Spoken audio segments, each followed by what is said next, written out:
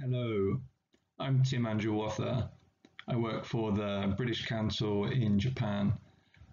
I've worked at two universities in Japan for the British Council. Currently, I'm at Hitotsubashi University. Last year, I was at Chiba University, and the materials I'm talking about in this presentation I made to use at Chiba University. The presentation is called A Global Approach to Discussion Class Materials, uh, and I hope it gives you some ideas uh, to use in English discussion classes. Now I'll look at the outline for my presentation. I will talk about my teaching context before explaining the term global Jinzai. Then I'll introduce a global approach uh, for teaching English, which includes global Englishes and intercultural communication. This approach was used to make a discussion class method, which I used to create two lessons, English in Singapore and individualism versus collectivism. I will also talk about how this method can be used to create more lessons. So now let's look at the teaching context. So these materials uh, I created were for advanced university discussion classes. Uh, students uh, had to discuss different topics each lesson and there was ongoing assessment based on participation in class and there was a final assessed discussion at the end of each term. Now let's look at the term global Jinzai. Uh, global Jinzai uh, means global human resources and it's a popular term and goal in tertiary education in Japan. Uh, one reason is Japan's aging society, which means it's imperative for Japanese businesses to expand globally. The government's definition of global Jinzai includes the ability to understand other cultures. This is a global approach to teaching English. It combines global Englishes and intercultural communication. The aim is to prepare learners to communicate with people all over the world. I did a presentation about this approach last year at PanSIG. Okay, so from Global Englishes, uh, lessons should raise awareness of global Englishes and emphasize respect for diverse culture and identity. So that's according to Galloway, who did research in a Japanese university. And from intercultural communication, learners should develop awareness of themselves, their own culture, and cultural differences. That's according to Yoshida, Yashiro, and Suzuki, who uh, did some research in Japan. Uh, they did a focus group with Japanese business people. Let's look at global Englishes more closely. So global Englishes includes world Englishes, for example, Indian English, Jamaican English, Kenyan English, Singaporean English, and there are many other varieties of English around the world. Also, global Englishes includes English as a lingua franca. So English as a lingua franca, also known as ELF, is a global communication tool between speakers of different mother tongues. And it is the most common use of English. And it's used in uh, different ways uh, from the way it's used, uh, English is used by native speakers. It's used in a more flexible and fluid way as the speakers adapt to the situation. Now let's look at intercultural communication. So Hofstede's cultural dimensions are very useful for helping us to understand the way uh, culture influences the way people feel, think, and behave. Uh, his original research revealed four cultural dimensions uh, individualism, power distance, masculinity, and uncertainty avoidance. He later, later added two more long term orientation and indulgence. So, uh, the cultural dimensions are very useful, uh, but it's also important to be aware that there is some criticism of the cultural dimensions. Uh, for example, someone who learns about the cultural dimensions uh, might then uh, presume that someone from a certain country will behave in a certain way. Uh, this is known as an essentialist view of culture. Whereas an, in a non essentialist view of culture, uh, we don't presume that an individual, individual person would behave in a particular way because he comes from a particular country. Uh, because we're aware of the complexity of culture and that people are constantly uh, negotiating their cultural identities. Also, it's important to think about small culture. So, the cultural dimensions are about national uh, culture at the national level, but there are also uh, lots of small cultures among different communities and different groups of people. Okay, so here is the discussion class method that I used, uh, which, which came from the global approach. So first, uh, choose issues and concepts from Global Englishes uh, or intercultural communication. Then there is some reading, uh, the issues and concepts are introduced, including necessary vocabulary. Then there are some questions to check the understanding of the issues, concepts, and vocabulary.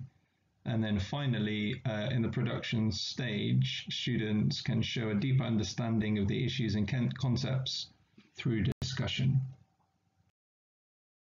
So the first uh, lesson that I'm going to tell you about is about English in Singapore and uh, I chose uh, this topic because understanding the role of Singlish is beneficial to understand the connection between varieties of English and cultural identity.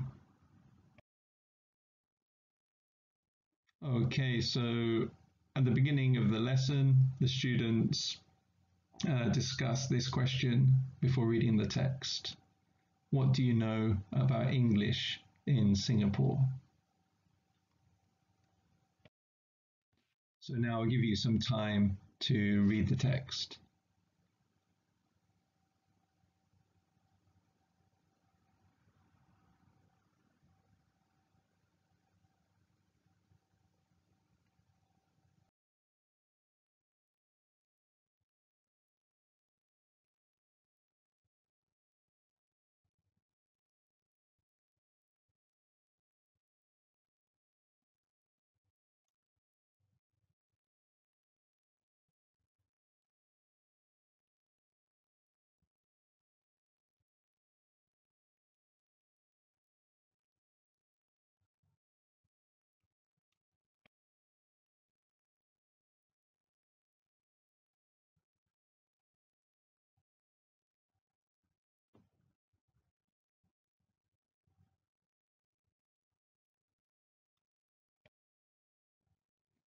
So here are some questions. I'll give you some time to read them and think about your answers.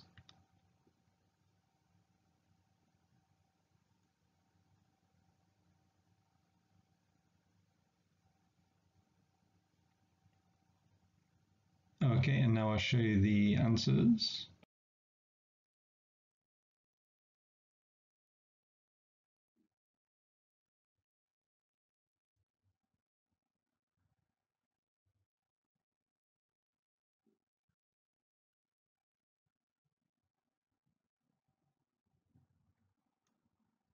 Okay, so now we go on to the discussion stage. So finally, uh, the students uh, have a chance to say their opinions by discussing the question, what do you think about Singlish and the Speak Good English movement? So I, I found that uh, this lesson went well. The students were really interested about English in Singapore and they were able to have some interesting discussions uh, giving their opinions about Singlish and the Speak Good English movement. Okay, so we'll now go on to the next lesson that I created. Individualism versus collectivism. So individualism is one of Hofstede's cultural dimensions and understanding individualism versus collectivism is essential in understanding the difference between Western and Asian cultures. So at the beginning of the lesson, the students uh, discuss uh, what do the terms individualism and collectivism mean.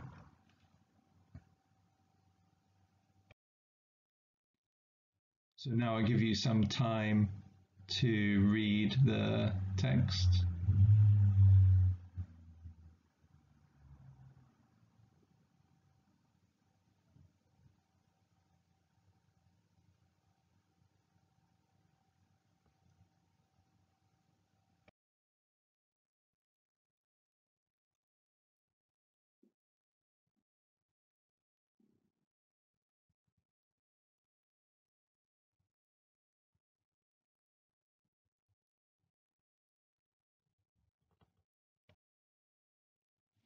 Okay, so after reading the text, the students need to write I individualism or C collectivism by each of these sentences. I'll give you some time to read them and, and think about your answers.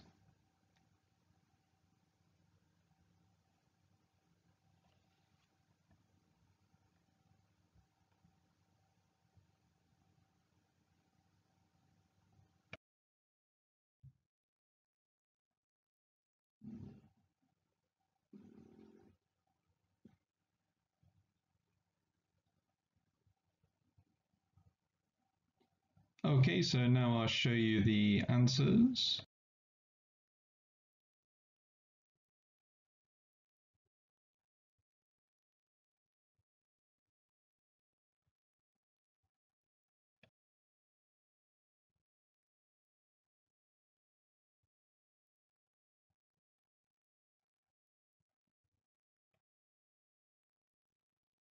Okay, so at this stage, the students get a chance to have a discussion with these questions.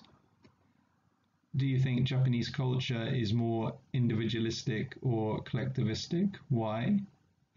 Have you ever experienced any cultural differences related to individualism versus collectivism? What happened and how did you feel? So I found this lesson went well as well. The students were yeah, interested in, were also interested in this topic and they had some very interesting discussions.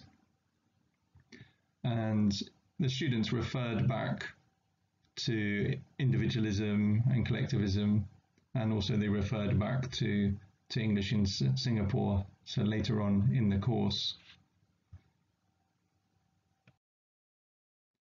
Okay, so this presentation uh, looked at a global approach to discussion class materials. So the glo global approach uh, includes global Englishes and intercultural communication. And the aim of the approach is to prepare learners to communicate with people all over the world. And this is the discussion class method that I used uh, to create some lessons uh, using the global approach. So the two lessons that I showed you were English in Singapore and individualism versus collectivism. So more lessons uh, could be created using the method so from Global Englishes, there could be uh, more lessons on different varieties of English.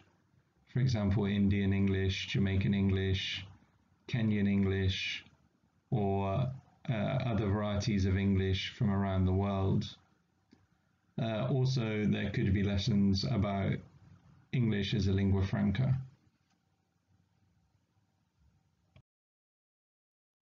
From intercultural communication, uh, there could be uh, lessons on the other cultural dimensions, such as power distance, long term orientation, masculinity, uncertainty, avoidance, and indulgence.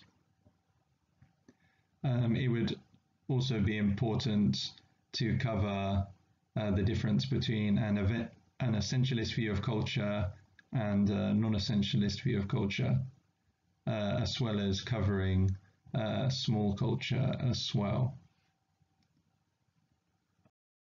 Okay, and here are the references that I used in this presentation. Uh, I hope that uh, this presentation has given you some ideas uh, for topics uh, in English discussion classes uh, with higher level higher level students.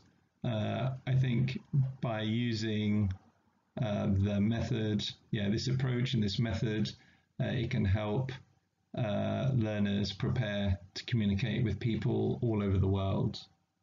Okay, thank you very much for listening to my presentation and uh, I hope you enjoy the rest of the conference.